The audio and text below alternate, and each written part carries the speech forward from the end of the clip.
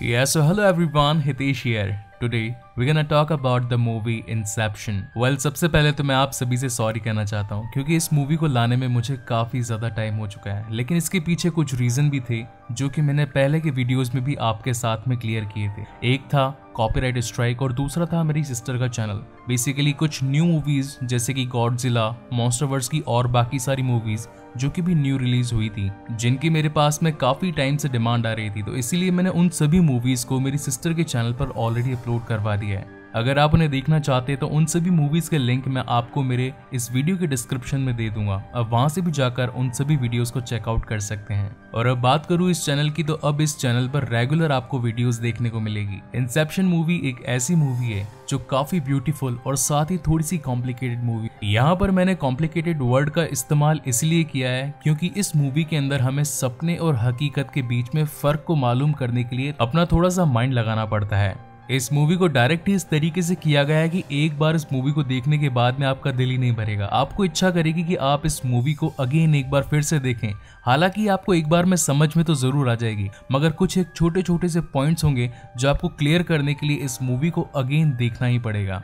Inception movie मेरी one of the favourite movies में से एक है और यही रीजन था कि मैंने इस मूवी को ऑन डिमांड एक्सप्लेनेशन में चूज़ किया क्योंकि इस मूवी की मेरे पास में काफ़ी टाइम से बहुत बार डिमांड्स आ चुकी थी। सो विदाउट वेस्टिंग टाइम चलिए आते हैं इस कहानी की मेन स्टोरी लाइन की तरफ़। यहाँ पर हमें दिखाए जाते हैं इस कहानी की मेन कैरेक्टर यानी की डिकैप्रियो जिनका नाम है इस मूवी के अंदर कॉब हम देखते हैं कि वो एक समुद्र किनारे पड़े होते हैं और साथ ही अब वो काफ़ी बूढ़े भी हो चुके हैं। और तभी वहाँ पर कुछ सोल्जर्स आते हैं, जो कि उसकी चेकिंग करते हैं और साथ ही उसे एक ऐसे इंसान के पास में ले जाते हैं, जो कि काफ़ी समय से उसका इंतज़ार कर रहा था। बेसिकली ये सीन कम्प्लीटली एक ड्रीम में होता है, जिसके बारे में मैं आपको आगे इस कहानी में बताऊँगा। जो सोल्जर्स कॉप को पकड़कर उस बूढ़े इंसान के सामने लेकर आए थे तो उसके पास में से उन्हें दो चीज़ें मिली थी। एक थी बंदूक और एक थी छोटी सी चक्री। तब वहाँ पर वो बूढ़ा इंसान, जिसका नाम होता है साइतो वो उन्हें देखकर कहता है कि तुम्हारी तरह एक इंसान था जो मुझे काफ़ी समय पहले मिला था, और उसके पास में भी ये दोनों ही चीज़ें थी।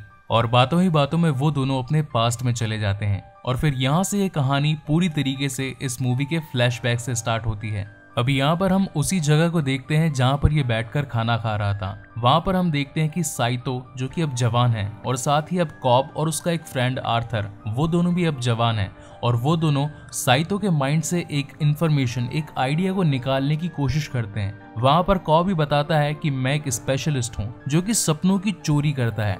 तब वहाँ पर वो साइतो से कहते हैं कि अगर आप भी इस जमाने के अंदर अपने आइडियाज़ अपने इन्फॉर्मेशन को अपने माइंड में सिक्योर रखना चाहते हैं तो आपको मुझसे ट्रेनिंग लेनी चाहिए। तब वहाँ पर साइतो कहता है कि आखिर में तुम्हें क्यों चूज़ करूँ? तब वहाँ पर कॉप कहता है कि वो चोर मैं ही हूँ जो सबसे शातिर है इस अंतर मन की चोरी में। लेकिन अब क्योंकि साइतो भी एक बहुत बड़ा इंसान होता है और उसे ये पता होता है कि अभी मैं एक सपने में हूँ। और इसी की वजह से वो कॉप की बातों को समझ जाता है और उसके जाल में नहीं फंसता। इस वजह से कॉप का वहीं पर प्लान चौपट हो जाता है और इसी के साथ उसका पहला सपना यहीं पर टूट जाता है। और जब उनकी आँखें खुलती है तो वो अगेन एक और रूम में होते हैं। तब वहाँ पर साई तो कहता है कि ये तो मेरा एक पुराना हाउस था, जहाँ पर मैं पहले कभी रहा करता था। मगर बातों ही बातों में जब कॉब उससे पूछताछ करने लगता है तो साई तो ज़मीन पर गिर जाता है और ज़मीन पर गिरते ही वो कहता है कि मेरे घर में तो जो नीचे का कालीन था, वो मखमल का था। मगर यहाँ पर पॉलिस्टर का इसका मतलब ये है कि ये भी अभी एक सपना है। तुम अभी भी मुझसे कुछ पूछताछ कर रहे हो तो मुझे बताओ कि तुम मुझसे क्या पाना चाहते हो। और वहाँ पर इनका ये दूसरा सपना भी टूट जाता है, जो कि बेसिकली चल रहा होता है नैश के दिमाग में। अब यहाँ पर हमें पता चलता है कि इनकी एक टीम है, जिसके अंदर है कॉब आर्थर और नैश। नैश बेसिकली एक आर्किटेक्ट होता है, जो कि सपनों की दुनिया में वो चीज़ें बनाता है, जो कि सामने वाले क्लाइंट को एकदम उसकी दुनिया की जैसी लगे। मगर दूसरे सपने में भी कामयाब नहीं होने की वजह से वो तीनों वहाँ से भाग जाते हैं। और थोड़ी देर बाद में साइतो, जिसके मन के अंदर वो घुसकर उसके मन के राज चुराना चाहते थे, वो उनके सामने आ जाता है और उनमें से नैश को पकड़कर ले जाता है। तब कॉब वहाँ पर साइतो से पूछता है कि आखिर तुम नैश का क्या करोगे? तब वहाँ पर साई तो कहता है कि उससे तुम्हें कुछ मतलब नहीं होना चाहिए। अब तुम मेरे लिए काम करोगे, अगर तुम अपने दोस्त को छुड़वाना चाहते हो। तो वहाँ पर कॉप पूछता है कि मुझे तुम्हारे लिए क्या काम करना पड़ेगा? तब वहाँ पर साई तो बताता है मेरा एक कंपटीशन है बूढ़ा इंसान, जिसका नाम है मॉरिस फिशर, जो कि बेसिकली एक बहुत ही बड़े पावर प्लांट का मालिक है। अगर वो अपने काम में अपने आइडियाज़ के साथ में सफल हो गया तो वो इस पूरी दुनिया का आधा हिस्सा अपने अंडर कंट्रोल में रख देगा, और मैं ऐसा नहीं होने देना चाहता।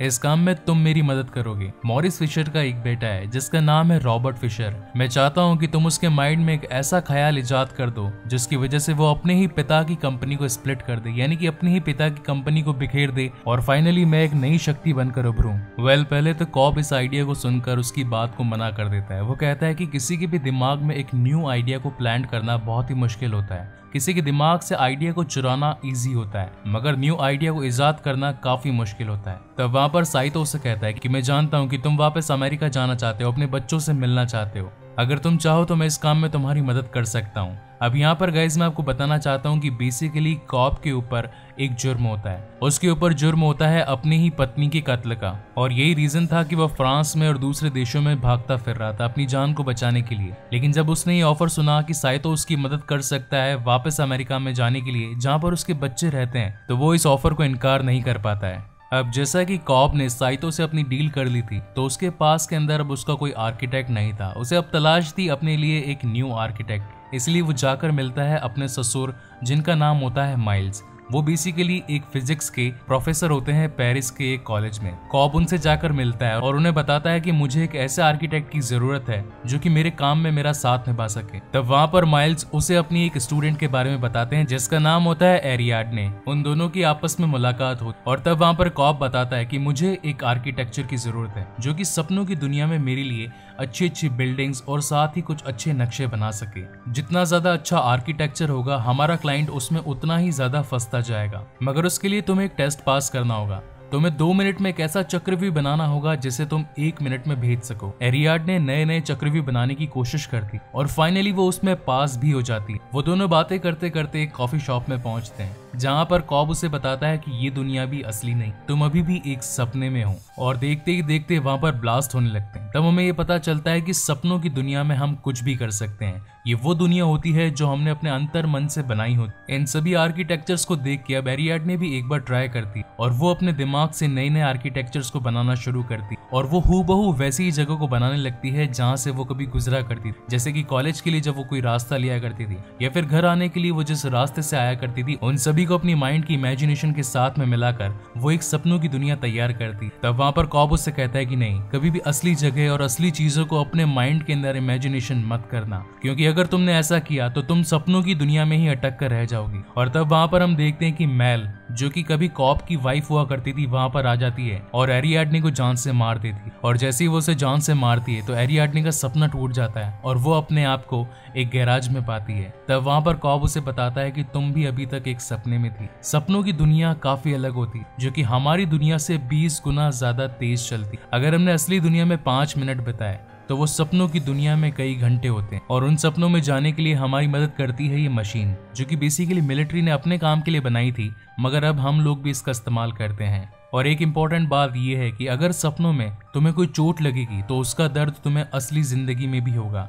और अगर सपनों में तुम्हारी जान चली जाएगी तो तुम्हारा सपना जिसके अंदर तुम अभी लेटी हो, वो सपना भी टूट जाएगा। और अगर सब कुछ नॉर्मल तरीके से चलता रहे तो हमें एक टाइम लूप मिलता है जिसके अंदर हमें एक झटका मिलता है, जिससे कि हम वापस से सपनों की दुनिया से इस रियल वर्ल्ड में आ सकते हैं। और अगर सब कुछ प्लान के मुताबिक नहीं हुआ तो हम कोमा में चले जाएँगे और उस दुनिया में वहीं अटक कर रह जाएँगे। अब इस शानदार और साथ ही जोखिम से भरे काम को अंजाम देने के लिए कॉप को अब एक बहुत ही बड़ी टीम की ज़रूरत थी। इसके अंदर अब वो शामिल करता है एम्स को, जो कि बेसिकली एक काफ़ी अच्छा बहरूपी होता है। वो लोगों के रूप लेने में काफ़ी माहिर होता है। और उसके बाद में कॉप मिलता है एक जड़ी बूटी वैज्ञानिक से, जिसका नाम होता है यूसुफ, जो कि बेहोशी की दवा बनाने में काफ़ी माहिर होता है। जब ये सब असेंबल हो जाते हैं तो ये सभी अपनी प्लानिंग को इम्प्लीमेंट करने की कोशिश करते हैं। ये धीरे धीरे उन सभी पहलू के ऊपर ध्यान देते हैं जो कि सपनों की दुनिया में होने वाला होता है। तो अब ये बताता है कि अगर हमें इस बड़े काम को अंजाम देना है तो एक सपने से काम नहीं बनेगा। इसके लिए हमें सपनों के तीन लेवल बनाने होंगे। तब वहाँ पर कॉबी प्लान बनाता है कि हमें इस रियल टाइम यानी कि रियल वर्ल्ड के अंदर एक इंसान को बेहोशी में दस घंटे रखना होगा।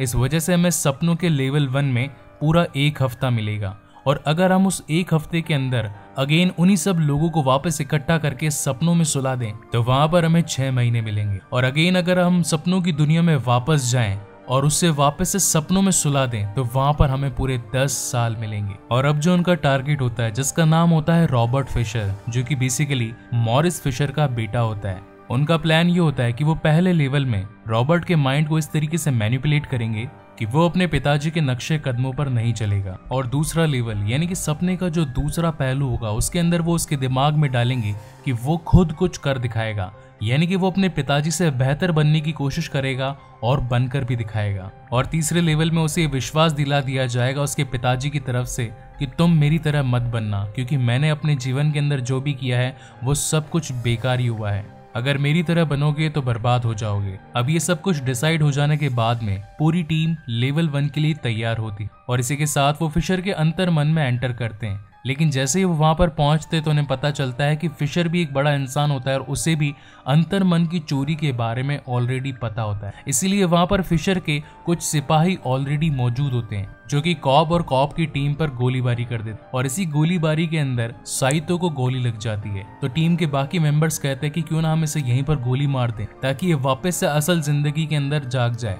तो वहाँ पर कॉप कहता है कि नहीं, हम ऐसा नहीं कर सकते। सपनों का डोज काफ़ी हैवी दिया गया है। अगर हमने इसे अभी जान से मारा तो ये सपनों की दुनिया में अटक जाएगा और हमेशा के लिए कोमा में ही रह जाएगा। इसलिए हमें अगेन वापस से सपनों की दुनिया के दूसरे लेवल में जाना होगा। अगर हम ऐसा करेंगे तो साइतो का दर्द थोड़ा कम होगा और बाद में सभी डिसाइड करते हैं कि यहाँ से हम सपनों के दूसरे लेवल में जाएँगे और वो वहाँ से फिशर को मुँह पर बोरी बाँध कर एक वेन में डाल देते हैं और वापस वेन के अंदर यूसुफ को गाड़ी चलाने के लिए देते हैं और सभी उस मशीन के साथ में कनेक्ट होकर सपनों के दूसरे लेवल में पहुँच जाते हैं। जहाँ पर अब ईन्स का काम होता है मॉरिस फिशर के खास वकील, यानी कि ब्राउनी बनकर रॉबर्ट के मन को जीतना, ताकि वो अपने मन के राज उगल दे और साथ ही उनका काम आसान हो जाए। एक तरफ़ सपनों की दुनिया में वो उसकी मदद कर रहे होते हैं और उसे ये बताते हैं कि हम आपके लिए ही यहाँ पर आए हैं और हम आपके ही मन के अंतर मन के चोरों से बचाने के लिए आपको यहाँ पर स्ट्रॉन्ग करने के लिए आए हैं। और वहीं दूसरी ओर यूसुफ गाड़ी चला रहा होता है, जिसे कि लेवल वन के अंतर मन के रक्षक गोलीबारी से परेशान कर रहे होते हैं। सेकंड लेवल में कॉप के द्वारा। रॉबर्ट को यह बताया जाता है कि तुम्हारे पिता ये सोचते हैं कि तुम उनकी धन दौलत के लिए काबिल इंसान नहीं, और वो ये चाहते हैं कि तुम इस धन दौलत के लिए खुद कुछ करो। तुम खुद को अपने आप को इतना काबिल बनाओ कि तुम इस मुकाम, इस शिखर को छू सको। इस काम में एम्स उनकी मदद करता है। जो कि बेसिकली ब्राउनी के रूप में फिशर के सामने आया होता है। अब इससे उसको ये पता चलता है कि वो ब्राउनी ही है, जो कि मेरे पिता के साथ के अंदर गद्दारी करना चाहता है और उसे रोकने के लिए अब वो ब्राउनी के दिमाग में जाते हैं। नॉर्मली वो सभी आर्थर के दिमाग के सपनों में होते हैं, लेकिन वहाँ पर कॉब फिशर को ये विश्वास दिलाता है कि हम दूसरे लेवल के अंदर तुम्हारे मन में थे और अभी हम तीसरे लेवल के अंदर ब्राउनी के दिमाग में जा रहे हैं। हम ब्राउनी के अंतर मन के सपनों में जा रहे हैं, जहाँ पर हम ये पता लगा सके कि आखिर ब्राउनी तुम्हारे पिता की संपत्ति के पीछे क्यों पड़ा है। और यहाँ हम देखते हैं कि वो सभी एक बर्फीली जगह पर पहुँच जाते हैं, जहाँ पर एक छोटा सा घर भी होता है, मगर वहाँ पर काफ़ी ज़्यादा सिक्योरिटी भी होती है। और साथ ही साथ अब उन्हें एक सिग्नल भी मिल चुका होता है कि इस थर्ड लेवल के अंदर आपके पास में सिर्फ़ एक घंटा है, जो कि सेकंड लेवल के अकॉर्डिंग तीन मिनट है, और साथ ही रियल वर्ल्ड के अंदर अब कुछ ही सेकंड्स हैं। अब यहाँ पर वो लेवल वन और लेवल टू के अंदर तो सो रहे हैं, मगर यहाँ पर उनके पास में सिर्फ़ एक घंटा है अपने काम को अंजाम देने। और अगर उन्होंने टाइम पर काम खत्म नहीं किया तो वो एक एक लेवल में जागना शुरू कर देंगे, जिससे कि उनका प्लान अगेन पूरी तरीके से फेल हो जाएगा। और अगर वो अमेरिका पहुँच गए तो कॉप को पूरी तरीके से जेल हो जाएगी। क्योंकि वो जिस फ़्लाइट में थे, वो बेसिकली कैलिफ़ोर्निया की फ़्लाइट थी, जो कि अमेरिका के अंदर ही आता है। और अगर सब कुछ प्लान के मुताबिक नहीं हुआ तो अमेरिका की पुलिस कॉप को पकड़ लेगी उसकी बीवी के कत्ल के इंजाम में। अब हमें दिखाया जाता है विशर के सामने एक बहुत ही बड़ा लॉकर होता है, और वो उसके अंदर एक कोट डालकर उसके अंदर जाने की कोशिश करता है। मगर तभी वहाँ पर कॉप की पत्नी, यानी कि मेल वहाँ पर पहुँच जाती है। और वो फिशर को गोली मार देती, जिससे कि सारा बना बनाया खेल बिगड़ जाता है। और साथ ही सेकंड लेवल में उठ नहीं सकता, क्योंकि उसको हैवी डोज दिया गया होता है दवाई का। और अगर वो जाग भी गया तो वो कोमा में चला जाएगा दूसरे लेवल में हमेशा के लिए। और यहाँ पर मैं फाइनली अब आपको मेल का रोल भी बता देता हूँ इस मूवी के अंदर, जो कि बेसिकली यहाँ पर कॉप की वाइफ बनी। शुरुआती दौर में जब कॉब और मेल सपनों की दुनिया में जाया करते थे तो उन्हें वहाँ पर काफ़ी अच्छा लगता था, क्योंकि वो सपनों की दुनिया में कुछ भी बना सकते थे, कुछ भी बिगाड़ सकते थे। उन दोनों ने आपस में यह वादा किया था कि हम दोनों साथ में बूढ़े होंगे। और ये सपनों की दुनिया, उन्हें इतनी रास आने लगी थी कि अब वो इस दुनिया को अपना सच मान चुके थे। वो इस दुनिया में बार बार जाते हैं। और लगातार जाने की वजह से वो सपनों में सपने और सपनों में सपने देखते जाते हैं। और इस काम में वो इतने आगे निकल जाते हैं कि वो सच्चाई को ही भूल जाते हैं। उन्हें ये पता ही नहीं चलता कि आखिर वो किस दुनिया में और इस मूवी की शुरुआत में मैंने जो आपको बताया था कि कॉप के पास में बेसिकली एक छोटी सी चक्री होती है, जिसे घुमाने पर ही पता चलता है कि ये दुनिया एक सपना है और या फिर असली दुनिया।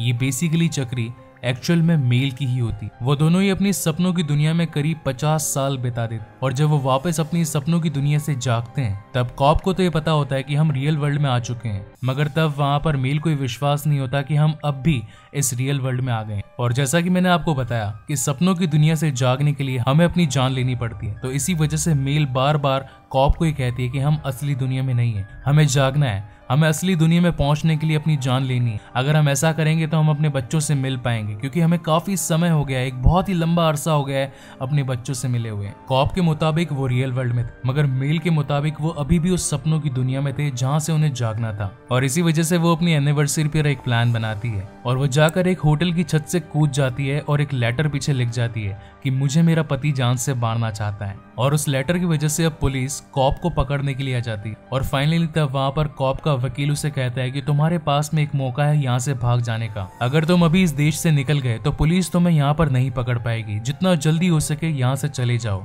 अब यहाँ कहानी में ट्विस्ट ये है कि मेल, जो कि मर चुकी है बेसिकली वो अभी भी ज़िंदा है कॉप की यादों में। हमेशा जब भी कॉप कोई सपना देखता है तो वहाँ पर मेल की यादें उसे सताने लगती है। मेल उसे खींचने लगती है अपनी तरफ़। वो उसे मजबूर करती है उसकी जान लेने के लिए, ताकि वो भी उस सपनों की दुनिया में हमेशा उसके साथ में रहने लगे। हालाँकि कॉप भी यही चाहता था। वो चाहता था कि उसके सपनों की दुनिया में मेल हमेशा ज़िंदा रहे, क्योंकि वो आज तक ये अपना नहीं पाया था। कि मेल की मौत उसकी खुद की वजह से नहीं, बल्कि मेरी वजह से हुई। और यही रीजन था कि वो आज तक अपने आप को माफ़ नहीं कर पाया था। और अब जैसा कि सपनों के लेवल थ्री में फिशर को गोली लग चुकी होती है, वो मरने ही वाला होता है। तो उससे पहले वो एक और प्लान बनाते हैं। वो ये प्लान बनाते हैं कि वो सपनों के चौथे लेवल में जाएँगे। और वहाँ जाकर फिशर को ऊपर से धक्का दे देंगे, जिससे कि फिशर की चौथे लेवल में मौत हो जाएगी और साथ ही वो तीसरे लेवल में जाग जाएगा। मगर इस काम को पूरी तरीके से होने में काफ़ी मुश्किलें भी आएगी, क्योंकि चौथे लेवल में भी मेल वहाँ पर आएगी और उसके काम को बिगाड़ने की कोशिश करेगी। क्योंकि अगर कॉप का काम खत्म हो गया तो वो अपने इस काम को अंजाम देके वापस अपने रियल वर्ल्ड में पहुँच जाएगा। मगर मेल ऐसा नहीं चाहती थी। मेल चाहती थी कि वो हमेशा के लिए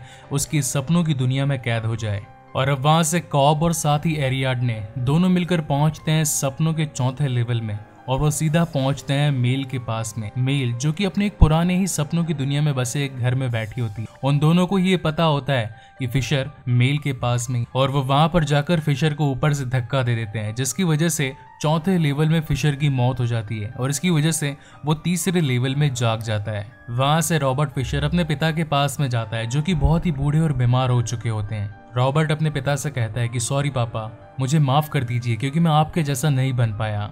तब वहाँ पर मॉरिस अपने बेटे से कहते कि, बेटा, मैं निराश था किसी समय पर, क्योंकि तुम मेरे जैसा नहीं बन पा रहे थे। और फाइनली अब रॉबर्ट के अंतर्मन में ये बात फिट हो जाती। वो ये समझ जाता है कि उसके डैड ये चाहते हैं कि मैं अपने आप का कुछ काम करूँ, मैं ऐसा कुछ करूँ जो सब कुछ मेरे बलबूते पर हो। और अब वो फाइनली डिसाइड करता है कि अब वो खुद की एक नई कंपनी बनाएगा। और इसी के साथ लेवल थ्री का जो सपना होता है, वो एक एक करके टूटने लगता है। और उस सपने के साथ में बाकी सभी जो लोग जो सपने के अंदर थे, वो एक एक करके जागने लगते हैं। मगर हम यहाँ पर देखते हैं कि कॉब और साथ ही साइतो उसी थर्ड वाले सपने के अंदर रह जाते हैं। अब यहाँ पर ये इसीलिए होता है क्योंकि थर्ड लेवल तक आते आते साइतो की हालत काफ़ी ज़्यादा खराब हो जाती है और वो अपने झटके से सेकंड लेवल में उठ नहीं पाता। और इसी की वजह से वो सपनों के थर्ड लेवल में ही अटक जाता है। और ये बात कॉप को काफ़ी अच्छे तरीके से मालूम थी ये प्लेन जल्दी ही कैलिफ़ोर्निया में लैंड होने वाला है। और अगर साइतो ने उसका साथ नहीं दिया तो कैलिफ़ोर्निया में जो पुलिस होगी, वो उसे पकड़कर उसके पत्नी के कत्ल के इल्ज़ाम में उसे जेल में डाल देगी। इसीलिए कॉप का साइतो के साथ में रियल वर्ल्ड के अंदर उठना काफ़ी ज़्यादा ज़रूरी था, क्योंकि वो साइतो ही था जो सारे इल्जामों को खत्म करके कॉप को एक नई ज़िंदगी दिला सकता था। और अब कॉप भी अपने सपनों की दुनिया के चौथे लेवल से तीसरे लेवल में आकर साइतो को ढूँढने की कोशिश करता है, क्योंकि अब साइतो अपने तीसरे लेवल के अंदर न जाने कहाँ पर होता है। मगर फिर भी काफ़ी सालों के बाद में फाइनली अब कॉप को साइतो मिल ही गया होता है। और ये वही सीन होता है जो कि हमें इस मूवी के स्टार्टिंग में दिखाया गया होता है। ये वही साइतो होता है जो अपने लेवल थ्री के सपनों में काफ़ी सालों से जी रहा होता है। और जब कॉप ये सारी बातें साइतो को अगेन रिपीट करता है तो दोनों को अपने पास्ट की सारी यादें आने लगती। और फाइनली दोनों अपने आप को जान से मार करके वापस से रियल वर्ल्ड के अंदर, अपनी जवानी के अंदर फिर उठ खड़े होते हैं। और यहाँ पर हम देखते हैं कि हकीकत यानी कि रियल वर्ल्ड के अंदर अभी तक उन्हें सिर्फ़ और सिर्फ़ 10 घंटे ही निकले होते हैं, जबकि उन्होंने सपनों की दुनिया में करीब 50 साल से ऊपर का समय निकाल दिया होता है। और इसी के साथ में अब साइतो यूएस पुलिस को कॉल लगाता है और कॉप पे लगे सारे इल्जामों को माफ़ करवा देता है। और तब जाके फाइनली कॉब अपनी फैमिली से वापस मिलता है, जहाँ पर उसके दो प्यारे प्यारे बच्चे होते हैं। इस मूवी की एंडिंग को लेकर हमेशा से लोगों के मन में ये कंफ्यूजन रहता था कि ये मूवी की एंडिंग आखिर किस तरीके से हुई है? क्या ये एक सपने में हुई है और या फिर क्या एक रियल वर्ल्ड में? तो इसमें मैं आपको बताना चाहूँगा कि ये जो फाइनल एंडिंग हुई है, ये बिल्कुल एक रियल वर्ल्ड में हुई है। और इसके पीछे का प्रूफ है वो चक्री, क्योंकि जब भी कॉब अपने सपने में उस चक्री को घुमाया करता था तो वो हमेशा से पूरी की पूरी घूमती रहती थी, कभी गिरती नहीं थी। लेकिन इस बार जब उसने उस चक्री को घुमाया तो वो लड़खड़ाने लगती जिसके बाद में इस मूवी का एंड हो जाता है। तो इससे हमें ये समझने को मिलता है कि अभी जहाँ पर कॉप जी रहा है, वो कोई सपनों की दुनिया नहीं, बल्कि असली दुनिया है। और इसी के साथ में ये कहानी यहीं पर खत्म होती है। सो गाइज़ आपको ये मूवी कैसे लगी? प्लीज़ मुझे लाइक और कमेंट करके ज़रूर बताइएगा। और अगर आपको मेरे वीडियोस पसंद आते हो तो उसे अपने फ्रेंड्स फैमिली और रिलेटिव्स में ज़रूर शेयर कीजिएगा। और अगर पहली बार इस चैनल पर आए हो तो प्लीज़ इस चैनल को ज़रूर सब्सक्राइब भी कीजिएगा। इसके बाद में मैं अपनी ऑडेक्स सीरीज़ यानी कि ऑन डिमांड एक्सप्लेनेशन का अगला पार्ट यानी कि सेवंथ पार्ट लेकर आने वाला हूँ, जिसका नाम है Interstellar so again guys thank you very much for watching this video मिलते हैं अगले वीडियो